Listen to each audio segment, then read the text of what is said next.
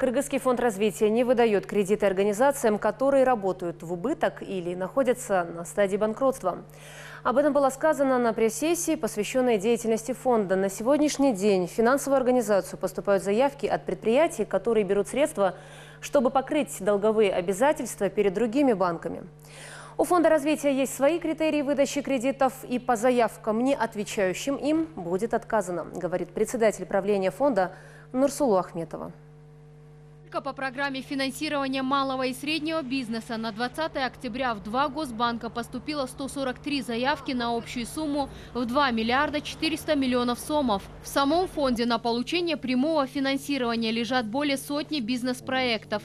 В то же время фонд сразу отказал 35 заявителям из-за того, что проекты не отвечают требованиям фонда. Есть требования фонда по собственному вкладу в размере 20%. Это основная причина. Не каждый заявитель может внести собственный вклад. Мы говорим о вкладе не только в денежном виде, но и основными средствами. К сожалению, очень много проектов, которые а, находятся либо в стадии банкротства, либо они убыточны. РКФР – это не благотворительная организация, и его средства не предназначены на покрытие долговых обязательств или кредитов, взятых предприятиями в других банках, напоминает председатель правления. Также кредиты не рассчитаны на финансирование оборотного капитала. Многие предприниматели не задумываются о том, смогут ли они освоить эти миллионы и вовремя платить проценты по займу. От работы РКФР зависит и имидж Кыргызстана на международном международной арене, поясняет Ахметова.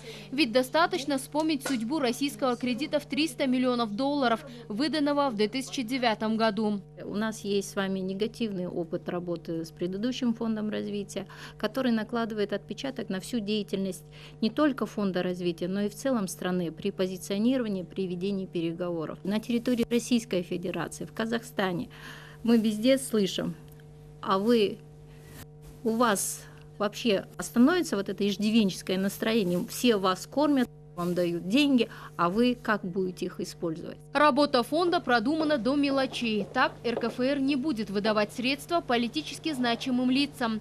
Статья 13 Устава организации гласит о том, что фонд не может финансировать юридические и физические лица, которые прямо или косвенно связаны с политической деятельностью. Деньги предназначены для модернизации производства и приобретения оборудования, напомнил член правления Бакыт Курманбеков.